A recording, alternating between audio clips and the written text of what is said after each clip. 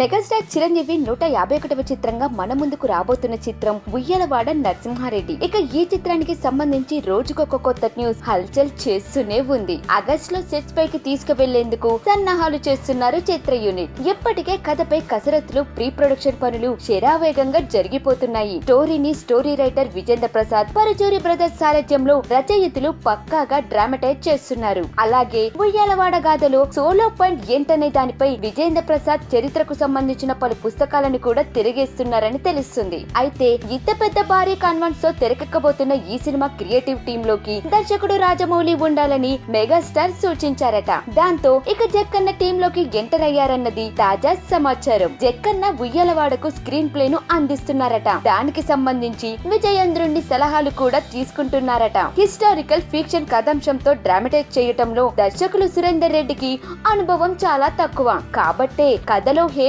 హేమీలు enter అయ్యారని తెలుస్తుంది cinema విజయంలో అత్యంత కీలకమైన స్క్రీన్ ప్లే విభాగంలో రాజమౌళి పేరు టైటిల్స్ కార్డులో పడనుందని మెగా కాంపౌండ్ వర్గాల నుంచి తెలుస్తుంది మరి ఇంతమంది హేమ హేమీల సారథ్యంలో తెరకెక్కపోతున్న ఈ చిత్రం సూపర్ హిట్టో లేదా చరిత్రను సృష్టించే విధంగా ఉంటుందో వేచి చూడాల్సిందే